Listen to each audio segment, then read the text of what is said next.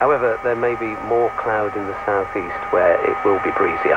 After a chilly start, it will be mostly dry on Thursday with some sunny spells.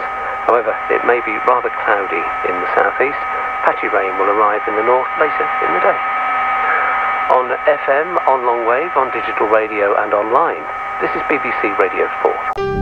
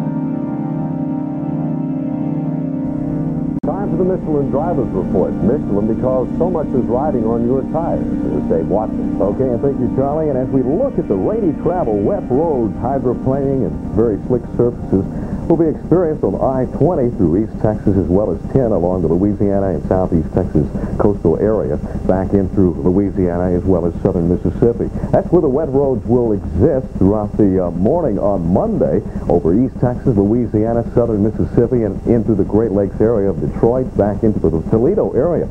Now, between now and 8 o'clock tomorrow morning, we're looking for the possibility of severe thunderstorms for the Great Lakes and the coastal areas of South Carolina and Georgia, and strong thunderstorms all the way down to the Lone Star State and into the southern portions of the land of enchantment. And the windy travel well over the upper Great Lakes and uh, in through western areas of New York State. Winds will gust off of the lakes in excess of 30 miles per hour, so boaters take heed.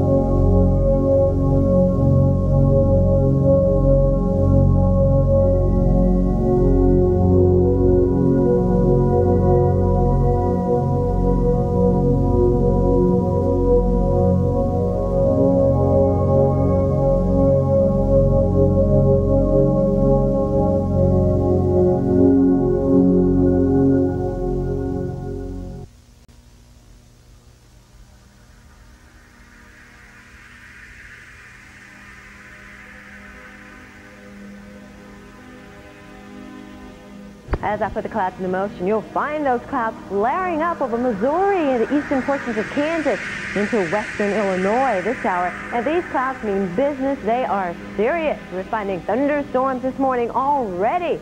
And it's, what, only 7 o'clock? So certainly an active morning, and it will be active all day today in this general vicinity of the country. We're finding more clouds over the northern Rockies, and beneath these clouds, we're finding some light rain around Kalispell and Missoula, Montana. Nothing all that heavy, certainly nothing compared to all the thunderstorms and heavy rain showers we're anticipating today over the Missouri Valley. The clouds are moving away from the west, so it should be a pretty nice day over most of Washington and Oregon and California, though we do have wind advisories in effect for Fresno, California, so watch out for the blowing of dust and sand there. We have a tropical storm out in the eastern Pacific. It's Tropical Storm Alma, packing winds now of 70 miles per hour. It continues to move to the west. Right now it's located about 1,000 miles southwest of Acapulco, Mexico. And because it's moving to the west, it is of no major threat to the lower 48, but without a doubt, we'll keep watching it for you very closely.